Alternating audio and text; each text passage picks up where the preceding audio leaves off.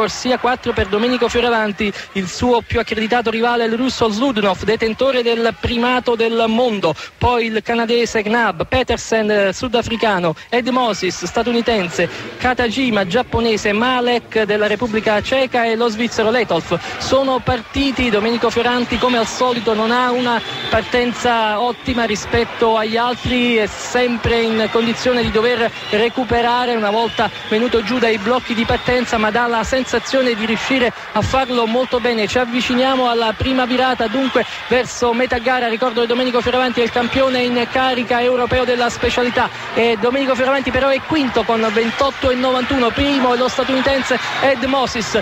Nella vasca di ritorno il novarese che vive a Verona ci ha abituato però a un'impressionante progressione che sta cercando di attuare in questo momento. Dà la sensazione di riuscire a passare Ed Moses. È una testa a testa, sono praticamente in asse con la nostra posizione. La sensazione è che l'italiano sia leggermente in avanti e che possa avvicinarsi alla medaglia d'oro leggermente avanti. Domenico Fioravanti dovrebbe farcela, può toccare, sta toccando, sta toccando, ce l'ha fatta, ce l'ha fatta, ce l'ha fatta, medaglia d'oro, medaglia d'oro, dico oro ed è la prima volta che lo si può gridare in italiano ad una gara di nuoto in un'Olimpiade, Sydney 2000, Domenico Fioravanti, una binata che resterà scolpita nella storia dello sport azzurro. Il tempo di Domenico Fioravanti 1.00 e 46 vale anche il record olimpico, non quello del mondo, va bene, ma si voleva davvero poi troppo, vale quello olimpico, siamo d'oro, l'Italia ha vinto la prima medaglia d'oro della storia del nuoto e c'è la possibilità di riprovarci con